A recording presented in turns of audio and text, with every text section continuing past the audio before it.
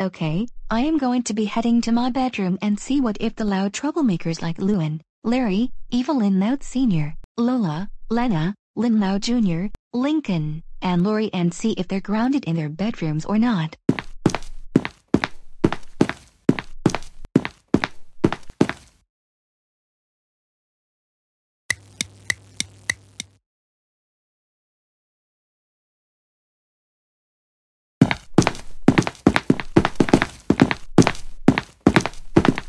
Alright Lori.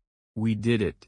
We have summoned evil Rita to this family so she can help us and the other loud house troublemakers cause more trouble in this city. I also think mom deserves a evil clone since peacemakers like her and dad deserve evil clones.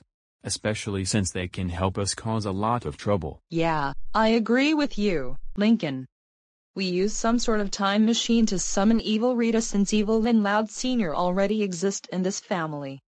And mom better not find out that we have summoned evil Rita to this family. Did I just hear that you and Lori summoned evil Rita to this family? Lincoln and Lori, I want the truth, right this minute. Fine.